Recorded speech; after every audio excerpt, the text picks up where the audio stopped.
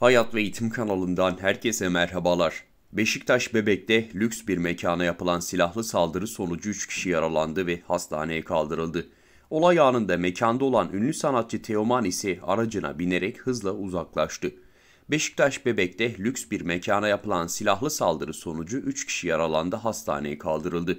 Mekanın önünde geniş çaplı çalışma yapan polis ekipleri olayı gerçekleştiren kişi ya da kişileri yakalamak için inceleme başlattı.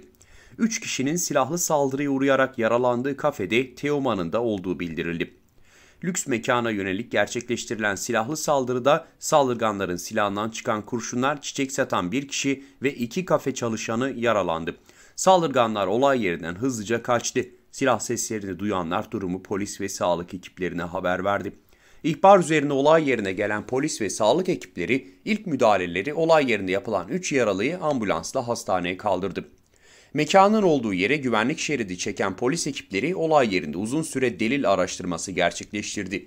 Olay yerinde çok sayıdaki boş kovan incelenmek üzere polis merkezine götürüldü. Saldırganların silahından çıkan kurşunlardan birisinin park halindeki lüks bir otomobili isabet ettiği görüldü. Yaralanan 3 kişinin de sağlık durumlarının iyi olduğu da bildirildi.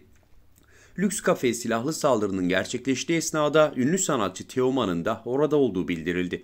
Daha sonra ortaya çıkan görüntüde sanatçı Teoman'ın arabasına binerek olay yerinden hızlı uzaklaştığı görülüyor.